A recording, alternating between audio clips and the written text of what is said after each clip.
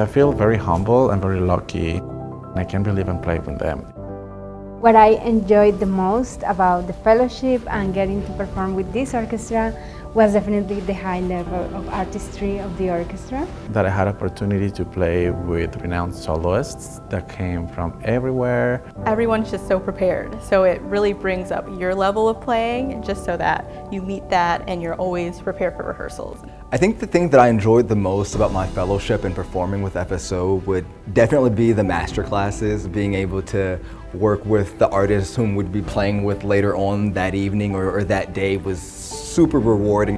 What I enjoyed most about being an FSO Fellow was the very first opening concert, which was at Capital One Hall. After our dress rehearsal in the morning, for lunch, Christopher Zimmerman, our conductor, took us all the way to the rooftop, all the fellows, and while we were eating, he was getting to know all of us, asking us questions, where we were from, where we go to school, and it made us feel like we were not just new members, but like we were meant to be there. That was really meaningful. This orchestra plays like repertoire that is not commonly played and also very demanding. It's, I would say it's extremely, extremely demanding and you need to be on top of it. It's really similar to what the real world is like and it's such a service what they're doing for us here. I love playing with Maestro Zimmerman.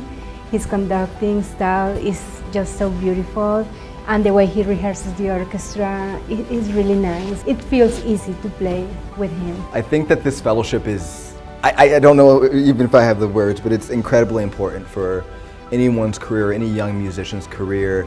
So you're doing the real thing, like the real world kind of thing.